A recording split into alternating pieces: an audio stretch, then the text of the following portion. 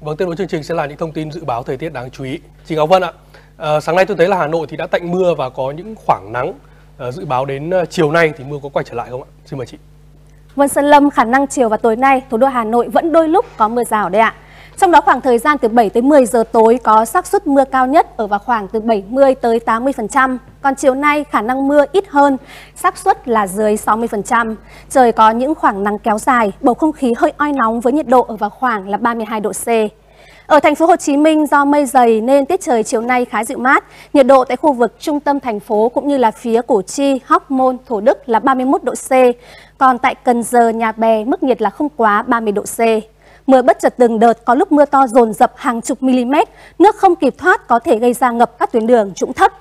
Đáng chú ý, mưa rông do gió mùa Tây Nam thường kèm theo tố lốc, gió giật gây ra tốc mái tôn, gãy đổ cây cối như từng xảy ra vào chiều Chủ nhật vừa rồi.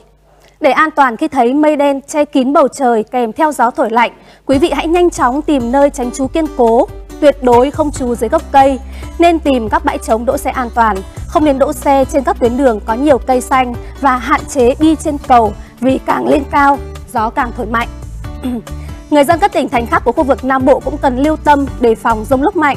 Chiều nay mưa xảy ra trên diện rộng, có những điểm mưa to, lượng từ 50 tới 100 mm ở cả miền Đông cũng như là miền Tây Nam Bộ. Mưa lớn cũng có thể gây ra ngập úng các vùng trũng thấp. Còn bây giờ xin mời tiếp tục chương trình chuyển động 24 giờ.